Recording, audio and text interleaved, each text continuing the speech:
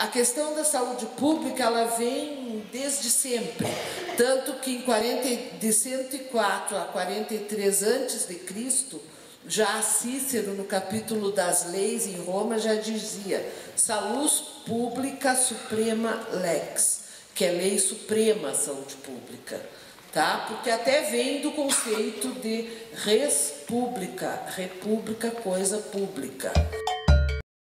Um grande historiador do campo da saúde, o Rosen, diz que conhecer a história ilumina o interesse público pela saúde.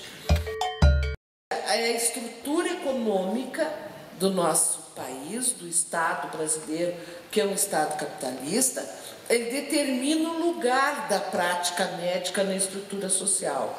Por quê? Porque as ações e serviços de saúde são consideradas mercadorias, e mercadorias dentro do capitalismo tem mais quem tem mais dinheiro para comprar mais. Né?